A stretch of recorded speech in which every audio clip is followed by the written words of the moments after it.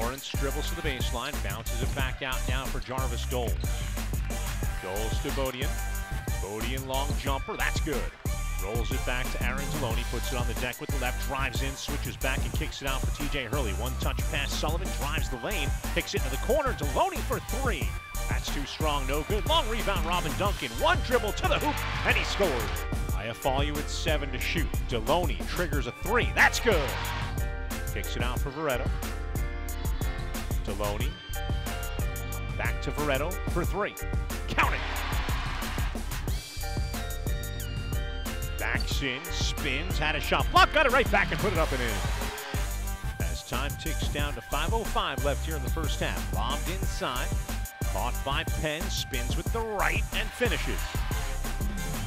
Finn Sullivan to the elbow for Penn, down low for Iafallo. Iafallo puts it on the deck, once spins and fires one off the window and good. And Duncan with 10 to shoot. Now working on Doles, up and under with the left, rolls it home. Ahead to Kam Gibson, has a lane, takes it to the rack and scores. That's a nice strong move by Bodian. Down low for Doles, who steps out. Drives on Veretto.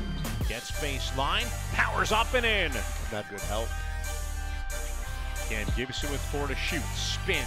Leans. Banks it home. Four minutes, 15 seconds left to play. Second half. 61-54 Catamounts lead. Robin Duncan right to the 10. Inbound to Iafallo, and that'll do it. Catamounts win this one by a final of 74 to 68.